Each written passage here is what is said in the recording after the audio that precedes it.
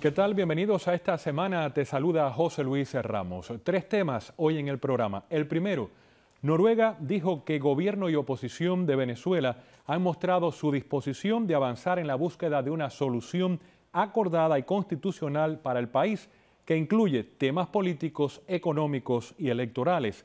Todo esto después de una segunda ronda de conversaciones en Oslo. También el Banco Central de Venezuela ha reconocido la situación de colapso, así textualmente lo ha dicho, que está viviendo la economía del país, que se ha reducido casi la mitad desde 2013. Y los problemas económicos de Cuba, la escasez, ¿están relacionados con el título 3 de la ley Hens-Burton? Lo preguntamos y buscamos respuestas también hoy en el programa. Bienvenidos, saludo acá en el estudio a Pablo eh, Medina, ex senador, líder político venezolano. Bienvenido, Pablo. Muchas gracias, José Luis. Mi colega José Antonio Évora, periodista de Radio y Televisión Martí. Gracias, José Antonio, por, estar aquí. Y desde La Habana nos va a acompañar la periodista Miriam Leiva. Miriam, ¿qué tal? Bienvenida. ¿Cómo estás? Un saludo para todos ustedes y para las personas que nos están viendo y escuchando. Y bueno, eh, complacida con poder participar en un programa que exponer distintas opiniones y así nos informaremos mejor. Sin embargo, vamos a comenzar ahora por la pregunta inicial a, a Pablo y después paso contigo a La Habana. ¿Cómo valora usted lo que ha sucedido en los últimos días en Noruega? A mí me parece que es un grave error haber aceptado ir a negociar a un en un escenario como el gobierno de Noruega, que tiene experiencias sumamente negativas, muy, que se pueden evaluar eh, a través del tiempo, o se puede evaluar lo que ocurrió en Colombia, cuyos resultados fueron nefastos para Colombia, como por ejemplo el haber asesorado con Cuba y la FARC, y donde estableció ir a un referéndum que finalmente lo perdió Santos, lo perdió la FARC, sin embargo lo impusieron.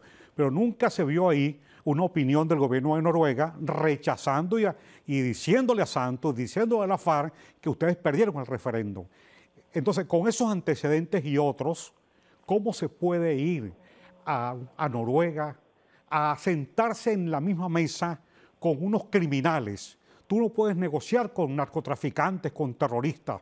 Y no es nada eso, sino que se fueron todos, la comisión del régimen de Maduro y la comisión designada por el presidente Juan Guaidó, en el mismo vuelo, en el mismo avión que llegó de, de Rusia a Maiquetía y se fueron a ese mismo lugar. ¿Usted censura, Pablo, que representantes, delegados del gobierno de Juan Guaidó hayan participado de esta negociación? Claro, pues es que, es que ¿qué, pasa con las negociaciones que han ocurrido en el país? No es la primera, esta es la cuarta. No, no, esto había comenzado ya hace algunos meses. Exacto, pero lo tuvieron en secreto y ya se publica ahora.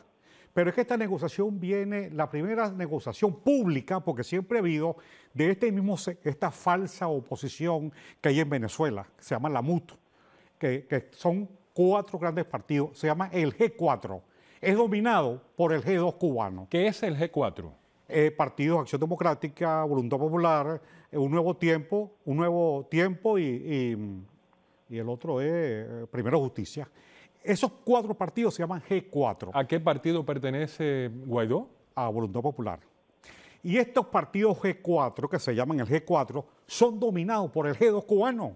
Es curioso porque el cubano no solamente controla, impone su política en Venezuela. Pero perdóneme, hemos visto a un Guaidó muy independiente del resto de los partidos políticos, incluso con el paso inicial que dio de reconociendo eh, o reconociendo, destacando que él era el presidente encargado del país, además de presidente de la Asamblea Nacional. Yo respaldo a Guaidó, pero soy crítico de sus políticas. Tiene su derecho, claro. Porque me parece, por ejemplo, lo del 30 de abril fue un craso error, lo del 30 de abril lo de Cúcuta. El 30 de abril fue el... Eh, los acontecimientos allá en Caracas, en la, Carlota. En la Carlota. Pero ya había ocurrido el acontecimiento en Cúcuta. Ahí me, yo estuve en el programa con Jaime Bailey. Y cuatro días antes me dijo Bailey, ¿tú crees que eso va a triunfar? Esto de Cúcuta. Le dije, no, no va a triunfar. Porque ese es en Venezuela vivimos una guerra asimétrica. Y vivimos una guerra convencional también, mezclado. Y lo que está en el estado Táchira son 1.200 además de los soldados, 1.200 malandros organizados y armados y no van a dejar pasar a los mil o dos mil muchachos que van, que van a atravesar y van a ser bombardeados y tiroteados. Entonces yo le dije, ahí no hay preparación, va a haber una masacre, le dije yo. Bueno, luego vino el 30 de abril, que es otro error, otro error, haber negociado con Padrino López y con el presidente del Tribunal Supremo de Justicia, que es un malandro, un criminal, Michael Moreno. ¿Cómo tú vas a negociar? Porque acordaron reunir fuerzas, hay una Carlota, de común acuerdo, pero cuando hubieran avanzado hacia Miraflores, el presidente no iba a ser Juan Guaidó, e iban a imponerse o Padrino López, eso estaba arreglado para que fueran ellos, o Michael Moreno. Entonces, eran trabajando con mucha ingenuidad, con dos, con grupos que están respaldados por el dedo cubano. A mi juicio eso fue un error, grave error. Y luego ahora esta negociación es otro grave error, que uno no puede avalarla, porque el cese y la usurpación, el gobierno de transición y las elecciones libres no es por ahí, es organizando, es una fuerza que existe en Venezuela, que es la resistencia con el apoyo internacional. Pero usted no cree que esos tres pasos, el cese de la usurpación, eh, elecciones libres, en fin, lo que, lo que propone Juan Guaidó, ¿se puede resolver en una mesa de negociación? Yo no creo. ¿Por qué? Porque esta delincuencia organizada, es lo que hay en Venezuela, no es un partido político, no es un problema democrático. Es una delincuencia organizada transnacional que se apoderó del país. Está el gobierno cubano, el jefe de Cuba, la tiranía cubana, no es gobierno. No, perdóname, están también los rusos. ¿eh? Los rusos y Hezbollah. ¿Y qué es lo que han hecho ellos? Ganar tiempo. Mira, tú ves a, Cuba, a la tiranía cubana, aislando a, a, una potencia como es Estados Unidos. Cuando tú examinas estas negociaciones, los embajadores, por ejemplo, en América van a la OEA, todos los de América, y enfrentan a Maduro y enfrentan al narcotráfico, pero están reunidos 14, esos mismos embajadores de los mismos países, 14 eh, embajadores del Grupo de Lima, entonces proponen que sea Cuba un promotor de la negociación cuando Cuba es la causa del problema. Y por otro lado, el mismo Díaz Canel, tú lo ves en Canadá reunido con, con Trudeau, primer ministro, y ves moviendo las piezas allá en Noruega para aislar a, Estados Unidos y aislarnos en Venezuela frente a, frente a un drama y aislar al Magro también en la OEA. Entonces, hay una, hay una geopolítica continental y mundial que la mueve Rusia, que la mueve Irán y que la mueve Cuba. Entonces, en esa geopolítica, tú no puedes aceptar una negociación con una delincuencia. La salida para mí y para nosotros no solamente para nosotros, es la aplicación del TIAR, Tratado Interamericano de Asistencia Recíproca, que la venimos planteando. Tratado de Río. Tratado de Río de Janeiro, que nosotros la planteamos hace más de un año. Yo le escribí una carta al presidente Trump. Lo acaba de aprobar la Asamblea, ¿no? Eh, sí, mira, yo, le mandé una carta al presidente Trump el 7 de junio del año pasado, hace un año, planteándolo lo, de, lo del TIAR. Entonces, Pablo, eso, eso, eso, fue aprobado en 1948 en Río. Nicolás, el problema la Biblia tiene más años y todos creemos en la Biblia y leemos la Biblia. Entonces, es con delincuente tú no puedes negociar, salvo que, que se vaya, pero Maduro no se va a ir, ni se va a ir Diosdado. Porque el problema es que la usurpación no es solamente el presidente de la República, es un Estado terrorista y mafioso, es el Tribunal Supremo de Justicia, es la Fiscalía, es la Contraloría, es el CNE, son los gobernadores y alcaldes, es una estructura paraestadal terrorista, ¿cómo la va a sacar? ¿Por la vía de la fuerza? Desde un primer momento, José Antonio Évora, se dijo que todo este encuentro entre oposición y representantes de, la dictadura venezolana tuvieron mucho hermetismo, hubo mucha cautela y sin embargo el comunicado, quiero repetir brevemente lo que dijo el gobierno de Noruega, que fue quien acogió este encuentro, ambas partes han mostrado disposición de avanzar en la búsqueda de una solución. ¿Usted piensa que esto terminó o es una pausa? Bueno, eh, Juan Guaidó dijo que la negociación había resultado en cero. O sea, no pasó nada. Bueno, perdóneme, Juan Guaidó hasta último momento no reconoció de que habían unas negociaciones. Bueno, pero eso es algo que yo no voy a cuestionar ahora porque me parece Pero sí lo cuestionan muchos venezolanos. Desde luego, pero el resultado eh, y, quiero abordar algo porque el senador ha dicho varias cosas con las cuales estoy de acuerdo. Por ejemplo, negociar con terroristas es un error. Negociar con delincuentes es un error.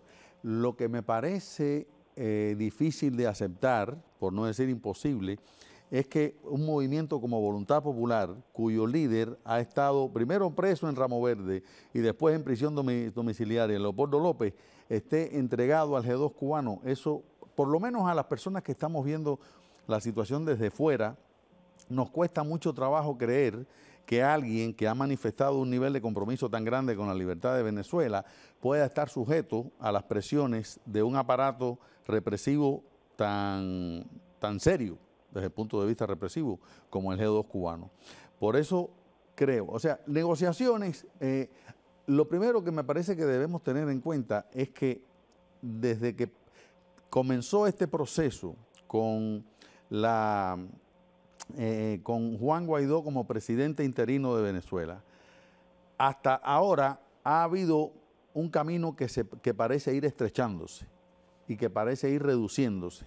Y a medida que se reducen las opciones para él y para eh, los miembros de la Asamblea Nacional que quieren hacer lo mismo que él, evidentemente cuando van reduciéndose las opciones, uno tiene que buscar de todas maneras una forma de conseguir el mismo objetivo sin renunciar a él, porque el objetivo es em, cese de la usurpación, gobierno de transición, elecciones libres. Eso evidentemente no parece haber cambiado en la negociación. Además que es un proceso. Y no, y no parece haber cambiado, porque si, la, si el presupuesto del cual ha partido él, y desde el momento mismo en que asumió la presidencia interina, es ese, y lo que lleva a la negociación de Noruega es ese mismo presupuesto inalterable, yo creo que no hay ninguna, no hay entreguismo, no hay sesión. Lo que sí es cierto, y en eso estoy de acuerdo con el senador, es que es un error estratégico negociar con terroristas y con delincuentes porque los delincuentes normalmente lo que hacen es ganar tiempo, que es lo que ha venido haciendo Nicolás Maduro y Diosdado Cabello. Por eso enfrentamos una contradicción muy seria aquí. Por una parte, Guaidó no parece cambiar los presupuestos de su lucha y por otra parte está apelando a mecanismos que pueden traicionar ese, ese propósito. Muy bien, vámonos a La Habana para conocer la opinión que hay allá, que tiene personalmente primero nuestra colega invitada Miriam Leiva. Miriam, ya has escuchado al senador Pablo Medina, también al colega José Antonio Évora. Ahora queremos escucharte a ti. ¿Cómo valoras lo que ha venido sucediendo en Oslo, Noruega? Bueno, en realidad eh, la información que tenemos es muy limitada, claro, y eh, lo que resulta interesante, ¿no? Que esté negociándose sobre todo con las posiciones y todas las, acciones, digamos, que ha estado llevando eh, Juan Guaidó. Eh, yo sí quisiera eh, una pregunta para el senador, porque mm, quizás las personas que estén participando, o sea, viendo este programa, no conozcan qué es el TIAR. Y bueno, tengo entendido que es un acuerdo militar de asistencia, en fin. Eh, yo quisiera preguntarle al senador si con esto quiere decir que eh, debe participar, o sea, haber una acción armada en Venezuela y si en esos cálculos, por supuesto, entra que sería prioridad eh, las Fuerzas Armadas de Estados Unidos y además si se prevé también, si eso ocurriera, la, implicación para, o sea, la población venezolana en el caso de un conflicto armado. Senador el, Tratado de Asistencia Recíproca, de la cual es firmante Estados Unidos, eh, mantiene su firma y Canadá y Colombia, Brasil. en la época de Chávez, en 2007, retiró a Venezuela del TIAR. Y, y, Nicaragua, Daniel Ortega también lo hizo, y Bolivia, Evo Morales y Eduardo Correa, cuatro países se retiraron. Pero este, eso no quiere decir que no tenga vigencia, porque ese, ese, ese tratado fue modificado en Costa Rica en 1975, lo que se llama el protocolo del TIAR, y establece que esto es un problema continental cuando desde un, sector internacional eh, delincuencial se apodera de un país, o un territorio, todos los países están obligados a actuar. Es un poco como la doctrina Monroe o la doctrina Roldos del Ecuador, en fin. Eh, y entonces, en este caso, eh, lo que está haciendo hoy la Asamblea Nacional en Venezuela, ayer, después de unas grandes presiones, mucha presión para que lo apruebe, en primera discusión lo hicieron. Ahora falta la segunda discusión para que Venezuela nuevamente ingrese. Pero aún sin ingresar, se puede armar una coalición porque Venezuela fue asaltada por una delincuencia organizada transnacional. ¿Cuál es la ventaja, por otro lado? La aplicación del TIAR. Que eso obliga, por ejemplo, a que el, el presidente Juan Guaidó designe lo que no ha hecho un ministro de la defensa. ¿Por qué no lo ha hecho hasta ahora, Pablo? Bueno, nosotros, mira, se lo propusimos desde que él es, antes de ser presidente. No hay un gabinete nombrado tampoco. No hay, es una debilidad, eso lo hemos dicho. Yo, yo le envié una comunicación eh, una vez que fue presidente de la Asamblea Nacional, sabía que iba a ser el presidente, le dimos, designa un gabinete, un vicepresidente, a ti te hacen preso, o Dios te proteja, ocurra cualquier cosa. Entonces, el, el, vicepresidente de la Asamblea, que es un tipo que no es confiable, va a asumir la presidencia. Pero perdóneme, no es confiable, pero fue electo democráticamente. Claro. Y es el vicepresidente, porque el otro está preso. Pero ese es el drama, y ese es el drama de que siendo vicepresidente de una acción democrática, no está a favor de una acción militar y continental. Ese es el problema. Ahora, en Venezuela, si se aprueba el TIAR, con mayor razón, porque en Venezuela hay una fuerza allá en Venezuela que una parte importante es institucional y respaldaría una acción de una coalición internacional, Estados Unidos, eh, Brasil y Colombia. La respaldaría porque en Venezuela hay reservas militares. Lo que pasa es que allá está el G2 cubano que controla las Fuerzas Armadas. Y también está una fuerza que se llama la resistencia. Por eso nosotros le pedimos, perdona, al presidente Trump, se lo mandamos una comunicación recientemente, que, así como él reconoció, y lo agradecemos en el alma, de verdad, de todo corazón, que haya reconocido a Juan Guaidó como presidente de la República y que trabajaron para que 50 países reconocieran también a Juan Guaidó, y eso le decir esa fortaleza, reconozcan también a la verdadera oposición. Hablando de oposición, perdóname Pablo, vamos de nuevo a La Habana.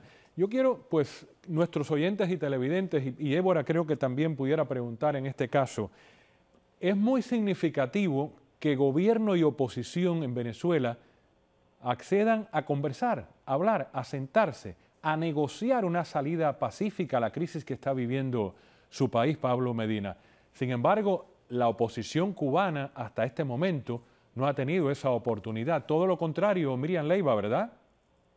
Bueno, no, aquí la oposición, al contrario, es muy, eh, ha sido muy perseguida siempre por, por el gobierno cubano de entrada eh, desde el inicio, ¿no? Después del año 59, eh, la forma en que actuó Fidel Castro eh, de no llamar a, elecciones democráticas, de, de en la práctica enseguida le quitó la vigencia a la constitución del 40 y así sucesivamente. Y bueno en los distintos momentos que ha habido bastante fuertes y, y serios de digamos de, de inclusive fusilamientos, prisiones y todo eso, eh, hasta la época actual, pues el gobierno sencillamente eh, siempre lo ha dicho, aquí nada más que eh, se puede ser revolucionario, o sea, hacer del gobierno actual y que lleva 60 años, y cualquier persona que tenga otra opinión distinta del gobierno cubano, pues sencillamente está considerado contrarrevolucionario, eh, pagado por el imperialismo norteamericano y por lo tanto eh, es totalmente aislado y eh, ha adoptado el gobierno distintas formas de represión, pero en definitiva se mantiene y una gran presión social. Miriam, pero ¿cómo, perdóname, cómo percibe la población, el cubano de a pie, ese acercamiento que finalmente se siente oposición? Y gobierno, ¿qué comentarios suscita en, el cubano de a pie, en la gente que, está en la calle, en los vecinos tuyos, en fin? Bueno, es que e, es una gran incógnita para todo el mundo, porque efectivamente si me está diciendo que Guaidó, eh, o sea, y, y, toda la oposición venezolana eh, eh, eh, está desprestigiada o que es negativa para el pueblo y los intereses de, la nación venezolana, ¿cómo entonces me vas a decir que Maduro se sienta a conversar con ellos? ¿no? O sea que ahí hay una contradicción, pero en definitiva sí hay una cuestión importante detrás de todo esto, ¿no? Y es que el temor a que eh, por una parte haya una situación de, realmente de militar allí que el, el, pueblo venezolano sufra y también hay que tener en cuenta que eh, la situación en Venezuela eh, golpea muy directamente a la población cubana porque de, en todos estos años, que o sea, 20 años que ha estado el chavismo, pues ha habido convenios, digamos que económicamente han sustentado al gobierno cubano, ¿no? Entonces, eso hace que en la medida eh, en que en que haya deterioro en Venezuela, pues también hay deterioro aquí. Mm. Pablo Medina. No, es una cosa, eh, es que lo que ocurre eh, en Venezuela no es una negociación real, es un teatro, es una burla. Han habido negociaciones públicas, esta es la cuarta, nunca quedan en nada. Y han negociado durante 20 años falsas, falsas elecciones. Siempre han negociado las falsas elecciones el pueblo siempre ha derrotado, nosotros siempre hemos derrotado. A, Chávez lo derrotamos, salvo Chávez ganó nada más dos elecciones, la del 98 y la del 2000. Todas las demás elecciones las perdió. Pero había este mismo grupo que se sienta a negociar allá en Noruega y que negoció en República Dominicana, siempre ha aceptado los fraudes. Ese es el problema. ¿Ébora? Mm, bueno, e, es básicamente lo que él está diciendo Estoy de acuerdo porque cuando la experiencia te demuestra que sentarte a negociar con esa pandilla es básicamente una pérdida de tiempo, hacerlo de nuevo es un error y no va a conducir a nada más que a que, ese, a que esa pandilla gane tiempo. Lo que pasa, y es lo que me pregunto, o sea, yo, por ejemplo, como observador, a mí, yo no me cuestiono eh, la intención de Guaidó, de Leopoldo López, de Voluntad Popular, mm, de los partidos que él dice que se conocen bajo el nombre de G4, yo no cuestiono el, propósito de esos partidos y de ese grupo de querer una, una salida democrática y un fin para la dictadura de Nicolás Maduro. Lo que me pregunto entonces es, ¿cómo es posible que después que ellos llegaron al punto en el que están, que hay un miembro de ese partido que ha sido reconocido como presidente interino por más de 50 países, ¿cómo se puede lograr que si ya esa es una posición de avanzada en el esfuerzo que comparten todos los venezolanos, reconocidos. ¿cómo, ¿cómo es posible entonces darle un impulso a esa posición sin sin mantener las diferencias lógicas que naturalmente hay en una situación como esta. O sea, ¿cómo aprovechar esa avanzada que ya está ahí y tratar de que continúe? Evidentemente las negociaciones Pablo Medina, no son... si no hay intervención, perdóneme, si no hay intervención, si no hay, si no suceden las deserciones de los militares, si tampoco vemos un golpe, la salida es negociar, pienso yo. Sí, pero es que ellos no, ellos... Porque la intervención está descartada. Bueno, yo no la descarto. Pero bueno, hasta ahora está descartada. Sí, no. Están buscando la vía pacífica, empezando por los Estados la Unidos, la Unión Europea y el Grupo de Lima. Yo no la descarto, es un problema político. Estoy diciéndole hasta el día de hoy. No, está bien, pero el jefe del Comando Sur dijo, estamos listos. Bueno, estará listo, pero, pero el, quien tiene que dar la orden es el presidente. y esperará su, esperará su momento. Y no lo voy a decir, yo no la descarto de verdad. En todo caso, yo, este, nosotros estamos, por un lado, eh, presionando por lo que tú bien has afirmado, o sea, dio un paso importante, un reconocimiento de un gobierno a nivel internacional y que él y la Asamblea Nacional la estamos sometiendo a una presión desde la calle por la vía de las redes y por eso es que como se dice en Venezuela, doblaron la patica y aprobaron el TIAR. Por la protesta, por la protesta cívica en la calle. Claro, la protesta cívica, la protesta de calle, eso se mantiene. Han mermado un poco en los últimos Ha mermado, pero pero mira, ha mermado, pero eso baja y sube otra vez. Eso ha ocurrido hace unos 20 años. De tal forma que allá hay una fuerza que se llama la resistencia y no vamos a soltar este tema porque yo creo que la primera discusión que han probado el TIAR y las fuerzas que están allá de la resistencia y la gente que hay en las Fuerzas Armadas son de verdad la esperanza. Y yo creo que, oye, aprobando el TIAR, la coalición actúe, la coalición internacional. Y ahí están las señales, las señales están. Yo creo que vamos a colocar otra vez el tema de Venezuela, se va a poner otra vez nuevamente en, el, en la mesa de negociaciones. Pues, ¿qué, qué, va a hacer eh, eh, John Bolton, Marco Rubio, eh, Pompeo? Ellos han, ellos han hecho, tú lo ves los tweets, molestos, no están de acuerdo con lo, de, con lo de Noruega, no están de acuerdo con eso. Y no pueden hacer otra cosa, sino decirlo y expresarlo. Ahora, te digo, allá en Venezuela nos corresponde a nosotros, lo que no formamos parte del G4, que estamos de acuerdo con el presidente Juan Guaidó, que lo apoyamos y criticamos lo que consideramos que hay que criticar, que eh, nos falta un paso en una unidad de lo que consideramos la verdadera oposición, la que ha puesto a los muertos, la que ha hecho el esfuerzo más grande. Sobre todo la juventud venezolana. La juventud venezolana, la sociedad civil. Venezuela ha luchado eh, en los sectores populares. Ahora, quien está peleando son los sectores populares, los que estuvieron con Chávez, porque perdieron todo derecho, toda posibilidad de vida. La gente se está muriendo como, como la comunidad internacional sabe, y son los que hoy llevan el peso de la lucha. Son los que han caminado por, por atravesando la cordillera de los Andes, kilómetros y días. La mayoría son gente de los sectores populares. Miriam Leiva, ¿hay diferencia cuando una negociación fracasa a una negociación estancada? Bueno, estancada quizás quiere decir que no llegaron a acuerdo, pero por el momento, eh, eh, por el momento, claro, posibilidades de que progrese, o sea, que, que, que no quiere decir que está descartada totalmente, es lo que parece. Y sobre todo porque conocíamos de que esto se inició, como decía anteriormente, hace algunos meses e incluso, usted me corrige, hubo un encuentro en La Habana, ¿no? Hubo, eso es secreto. Pues yo sé que estuvo allá en abril y en mayo, dirigente del G2, dirigente del G4. ¿Estuvieron en La Habana? En La Habana. Eso, pero eso es una información pública. Eso es un tubazo. No, allá fueron dirigentes eh, privados de la oposición, allá Cuba. Bueno, hablando precisamente... que no quiero notar más el avispero. Vamos a continuar con los otros dos temas que tienen que ver con Venezuela y que también tienen que ver con Cuba, y es la, crisis humanitaria, la crisis humanitaria que ha lanzado Maduro a Perú, ha lanzado también a, Colombia, a Brasil, a, a muchos países.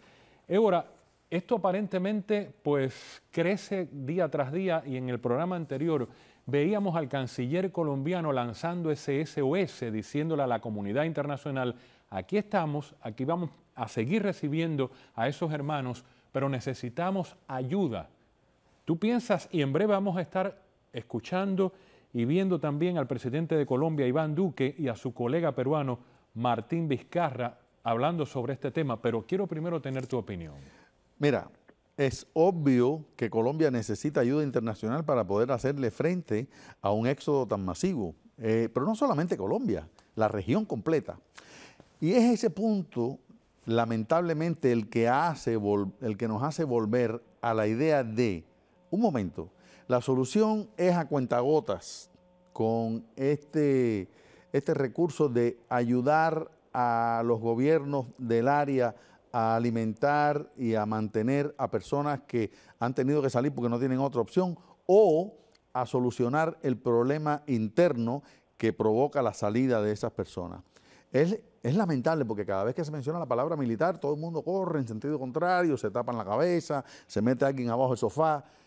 Basta, porque lo que no puede pasar es que haya un gobierno en Caracas que se permita de una manera o de otra mantener la situación del país que ha provocado todo este problema. O sea, las cosas, las cifras de inflación que tú mencionabas son ridículas. O sea, las cifras, ahora, eh, Guaidó puso en su, en su cuenta de Twitter cifras de la ONU y del Fondo Monetario Internacional que se ve a Venezuela, el segundo país con una altísima inflación creo que es Yemen.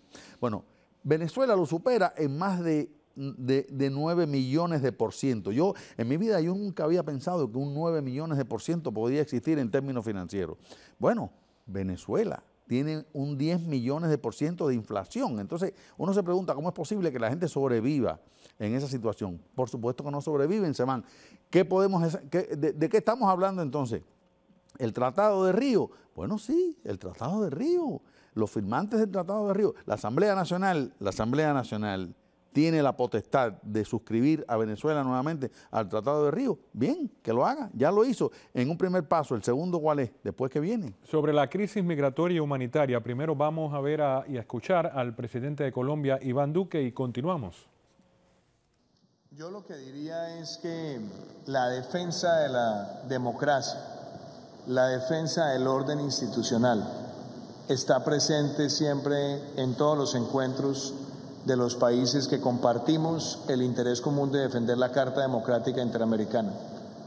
Nosotros, con el presidente Vizcarra, hemos participado activamente en todos los foros multilaterales y hemos sido claros, además, que Colombia y Perú están enfrentando la peor crisis migratoria que haya vivido América Latina en su historia reciente.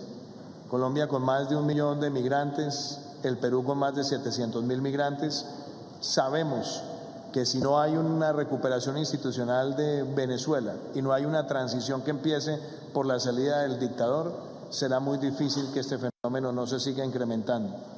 Y esos temas siempre estarán presentes en estas discusiones porque el presidente Vizcarra, con el Grupo de Lima, ha sido también un gran defensor de esos valores democráticos y Colombia ha estado presente en el Grupo de Lima y está presente en todos los foros multilaterales como lo expresamos también en Prosur, que necesitamos que todos nos unamos para respaldar a la Asamblea Nacional y al presidente Guaidó y que llegue la dictadura a su final en Venezuela. La única solución viable para la reconstrucción institucional de Venezuela empieza con el fin de la dictadura y la salida de Nicolás Maduro.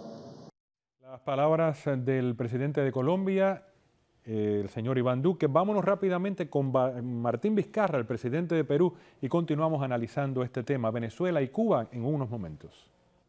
En la reunión que hemos tenido los cuatro presidentes en la comunidad andina, hemos tratado el tema de Venezuela y se han planteado y se han puesto sobre la mesa precisamente los graves problemas que generan a través de la permanencia de un régimen que lo consideramos ilegítimo desde el mes de enero de este año en Venezuela. Y hemos visto de que tenemos que encontrar una solución tanto desde el análisis propio de la situación que se encuentra los hermanos venezolanos en su país, como también la situación que se encuentra en los países que han recibido la migración venezolana en cantidades que superan los cientos de miles de personas.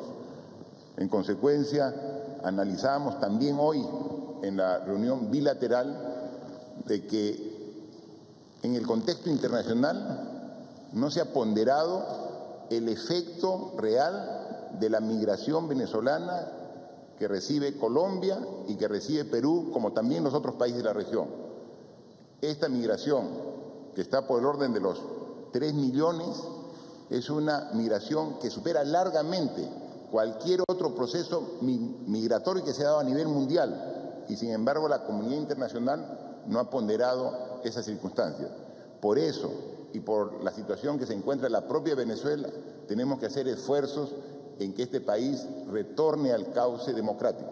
Lo hemos dicho en la reunión bilateral, lo hemos dicho ayer en la reunión de la comunidad andina y lo diremos en cuanto foro haya para lograr ese objetivo en el menor tiempo posible. Ese objetivo, dice el señor Vizcarra, en el menor tiempo posible. Pablo Medina, la crisis venezolana se ha extendido tanto dentro, pero también fuera de su país, Venezuela. Mira, José Luis, eh, eh, yo le escribí una carta a quien en ese momento ocupaba la presidencia de Colombia, Juan Manuel Santo, en marzo del 2015, anunciándole la crisis migratoria.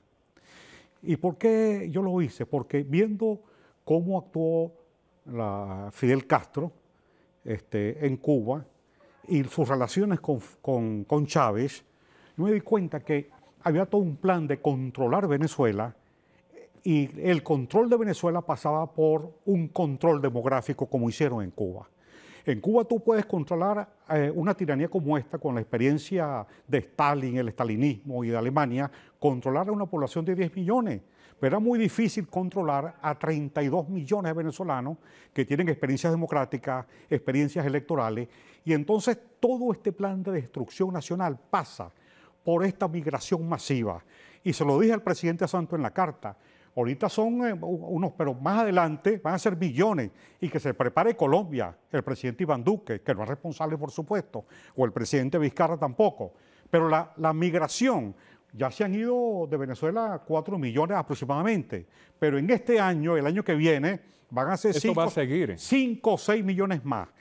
Reducir la población venezolana de 30 a 32 millones a 15 millones, porque tú puedes como ocurrió en Cuba, con un control demográfico, manejar y humillar y controlar por la vía de la fuerza y la represión y el miedo a 15 millones de venezolanos. Ya que usted habla de Cuba, vámonos nuevamente a La Habana con Miriam Leiva. Miriam, ¿cómo se va sintiendo en el día a día del cubano la crisis que está pasando Venezuela, esta crisis política, económica, social, en fin? Bueno, es que eh, se ha ido intensificando eh, la carencia, o sea, la falta de dinero por parte del gobierno y de suministros en, en general. ¿Por qué? Porque, bueno, en la medida en que fue disminuyendo la entrega de petróleo acá a Cuba, eh, que fue disminuyendo las posibilidades del gobierno de utilizar sea, derivados de ese petróleo para exportarlo, y que era una fuente también importante de divisas, pues eh, la, se fue quebrajando la situación económica de Cuba. También ha disminuido la cantidad de colaboradores, o sea, de, sobre todo médicos que están en Venezuela, que era y es, una, sigue siendo una fuente importante también de, de, de, entrada, digamos, de dinero fresco acá, era la fuente fundamental de, lo que es la eh, la venta de servicios, como se le llama aquí, o sea, por distintas vías, eh, la, pérdida, o sea, la, la situación, de, la declinación de la situación económica de Venezuela, pues ha estado impactando y ya ha llegado a un momento en que es realmente crítico porque el gobierno cubano no tiene, o sea, aquí Cuba no se ha ido creando posibilidades de exportación, de suplir eh, eh, o sea, con nuevos productos, inclusive eh, la, la, esa, esa situación de vender. Y entonces eh, las importaciones aquí siempre de, de, sobre todo de alimentos han sido muy altas porque eh, las medidas del gobierno en la agricultura pues lo que han es eh, impedido que, que, el campesino realmente sea se siente este, estimulado a producir. Y entonces todo eso es una una digamos una cadena que va eh, ahogando la sociedad cubana. Y hay una crisis realmente en estos momentos muy grande que eh, se ha visto también indudablemente eh, potenciada por la, las medidas de, incremento de, de la de la presión sobre otros países aplicadas por por la administración de, de Burton, o sea, perdón, eh, perdone, la administración eh, Trump y entonces eh, pues sencillamente la situación aquí es bastante difícil en Cuba y entiende, va a tender a, incrementarse las dificultades si no se encuentra otras posibilidades de activar esta economía. Recientemente el Banco Central de Venezuela reconocía que la situación está de colapso que está viviendo el país eh, económicamente se ha reducido casi la mitad desde, mil, eh, desde el 2013. Yo creo que esto es alarmante y el Banco eh, Central de Venezuela hacía mucho tiempo que no daba cifra. ¿Cómo explicar esta catástrofe económica? Le pregunto a, a Évora, después también quiero escuchar a usted, Pablo Medina, y sobre todo, ¿cómo explicar un país tan rico en petróleo que está en una situación pues de, mendigo, ¿no? Pidiendo que lo ayuden. La aplicación es muy sencilla. Hay una administración que no es tal.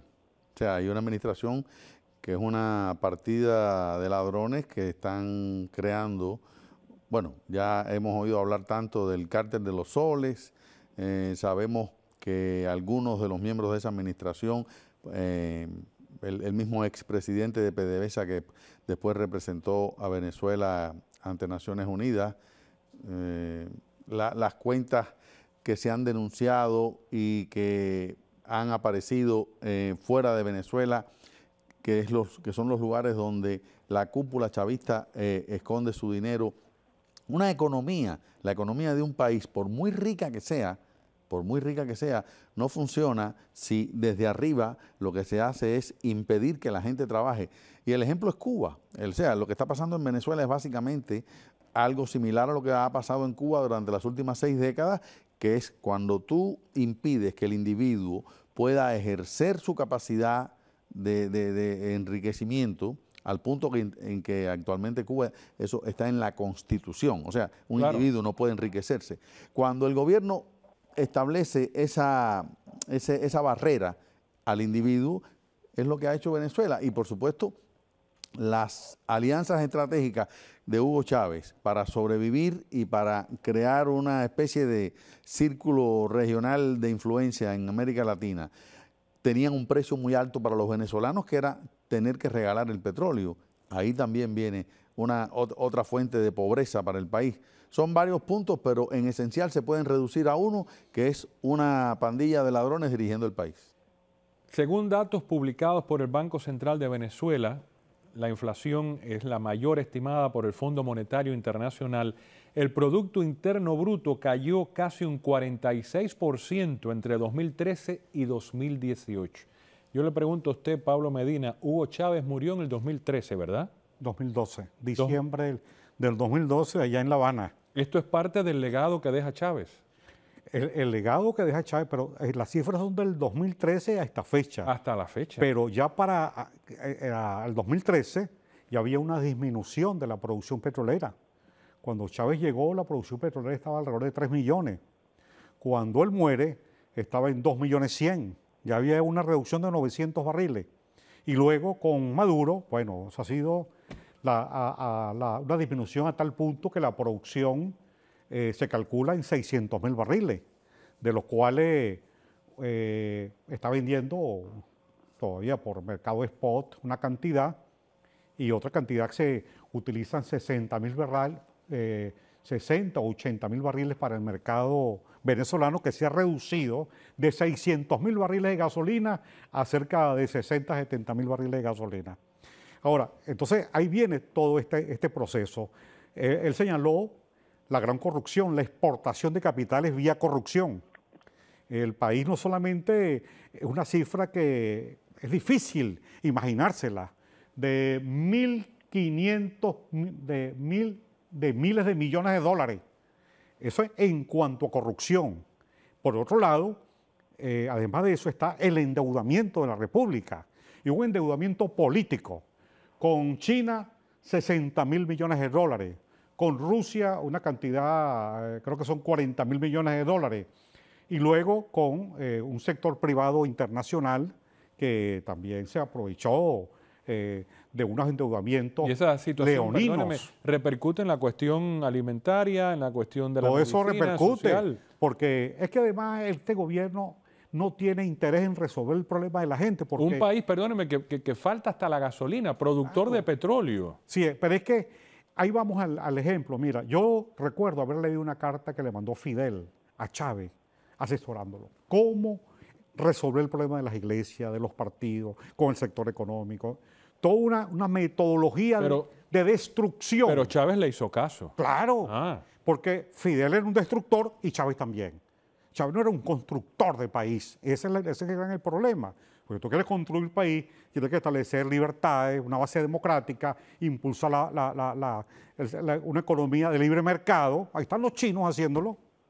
Aún cuando mantienen una dictadura política, han hecho eso. Bueno, allá en Venezuela es todo lo contrario, porque el fin de ello era apoderarse de un territorio lleno de riqueza y que, y que, desde el punto de vista geopolítico es clave para el mundo esa posición de Venezuela, que por donde pasa el narcotráfico, el terrorismo, y, y eso es lo que le interesa a Fidel y lo que le interesaba a Chávez también.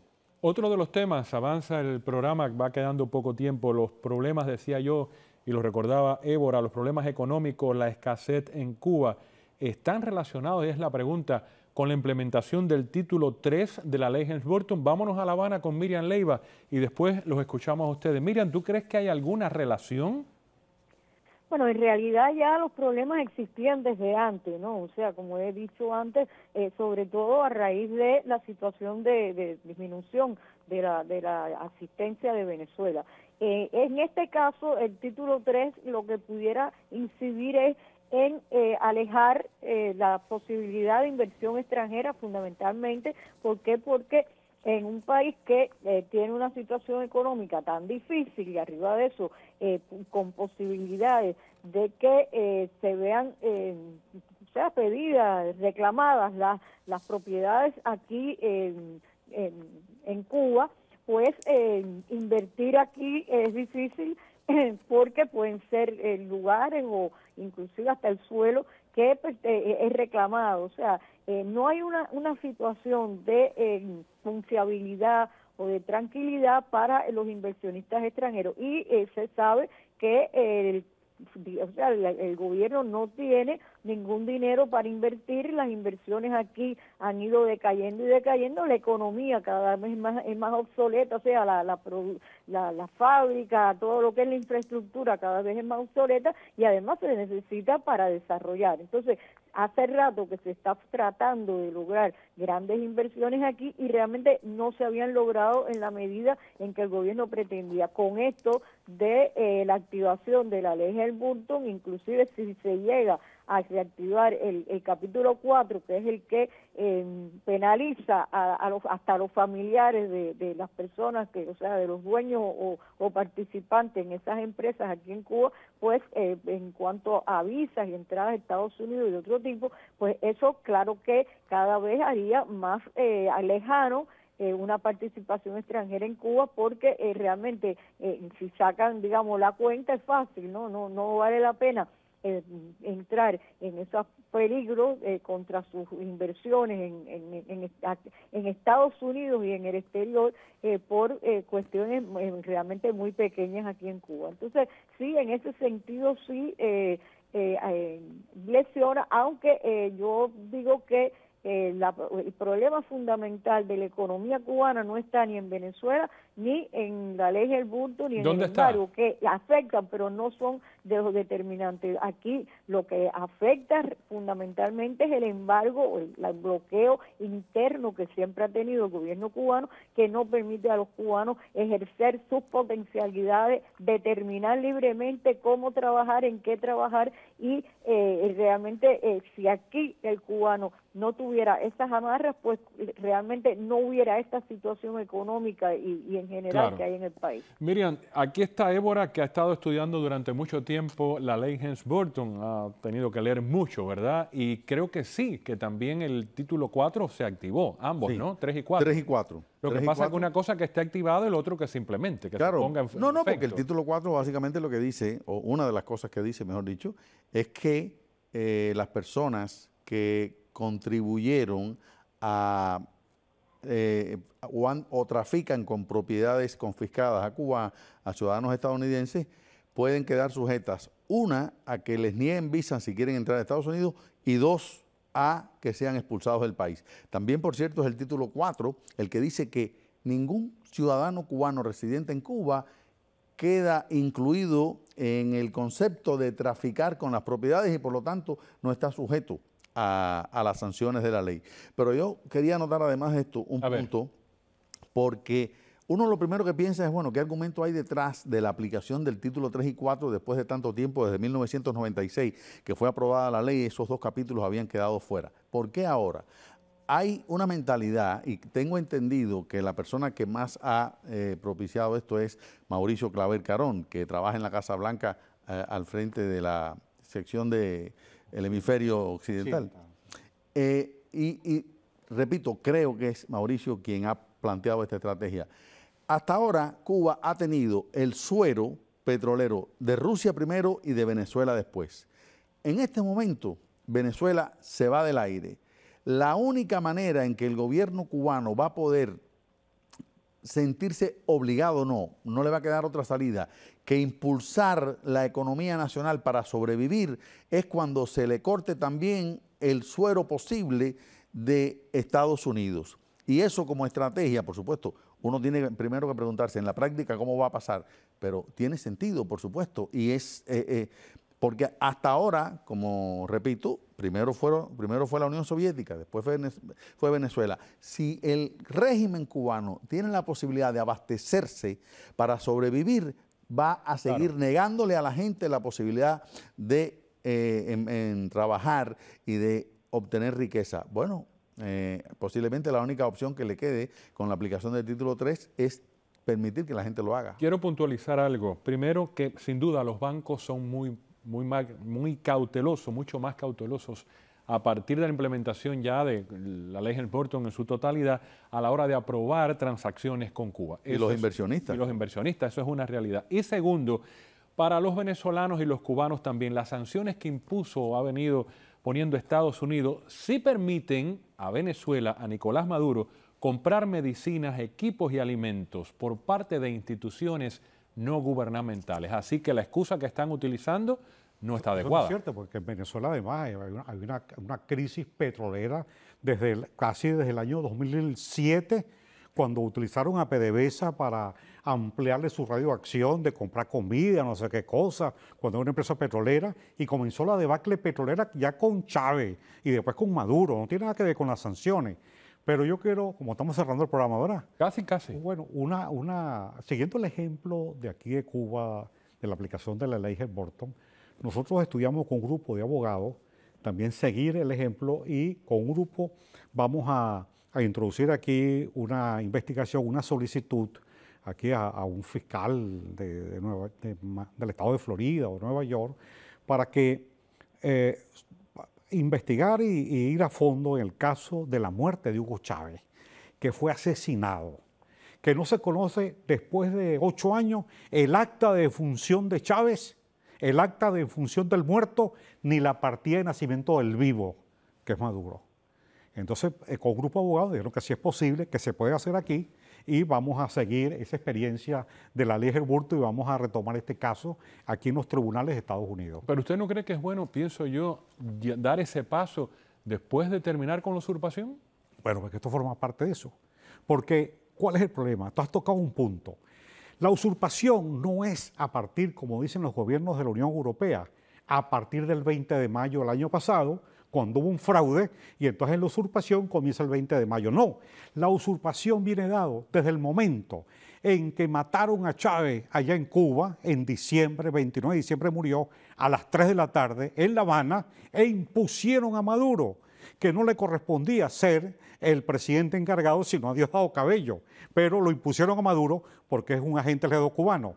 Y entonces, violando la constitución, nos impusieron a Maduro, que además, de paso, no es venezolano. Entonces fue un complot contra Venezuela. Hasta ahora han dicho que Chávez muere en Caracas. Hasta ahora, digo yo, ¿no? Bueno, pero... Y de acuerdo a las informaciones que tenemos. Miriam Leiva, estamos hablando de la situación económica, de la escasez que está viviendo Venezuela. Yo creo que es la misma escasez que está viviendo Cuba. Ya en este caso, tanto en las tiendas en moneda, nacional como en divisa, ¿estoy correcto en lo que estoy diciendo? Bueno, en realidad aquí hay escasez, lo que yo no me atrevería a compararla, o sea, decir que es igual que la que tiene Venezuela. No hay comparación con Venezuela hasta ahora. No, en el sentido de que, eh, por lo que yo he escuchado, la referencia que yo tengo, eh, en, Venezuela eh, realmente es muy grande la, la, escasez, inclusive ahí aquí está faltando hace rato los medicamentos, pero también pienso que allá en Venezuela, por eh, lo que he conocido es muy superior. O sea, eh, yo no me atrevería a decir que es igual porque además la situación es distinta, ¿no? De todas maneras, indudablemente lo estamos sintiendo en ambos lugares y no debería ser. Cuando, cuando, el, el, el, presidente de Cuba, Ramón Grau San Martín, murió en La Habana en el año Usted se ha ido atrás. Sí, sí, me estoy yendo atrás porque esto... Claro, la historia. Eh, ella ha dicho algo que me recordó esto. Y le preguntaron una vez quién era peor, si Fulgencio Batista o Fidel Castro. Y él dijo, chico, Batista mataba a la gente, pero este muchacho no nos deja vivir. Eso de que eh, en Venezuela la situación esté tan grave, que haya niños muriendo, que haya ancianos sin medicamentos, y que en Cuba aparentemente, repito aparentemente, no haya ese mismo nivel de gravedad de la situación porque no se puede contabilizar el número de, por ejemplo, de niños que carecen de los medicamentos para el asma o, para, o los ancianos para la diabetes, la situación al final es básicamente la misma.